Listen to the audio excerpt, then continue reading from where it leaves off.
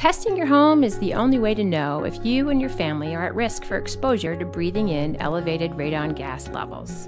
And it's easy to do.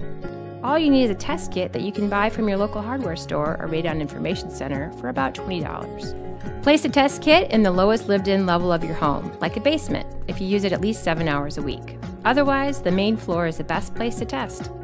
Make sure to keep the windows closed and avoid testing in places that are damp, like the kitchen, bathroom, or laundry room.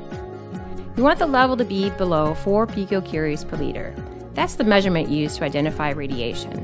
When it is above 4, the EPA recommends you consider mitigating or fixing your home.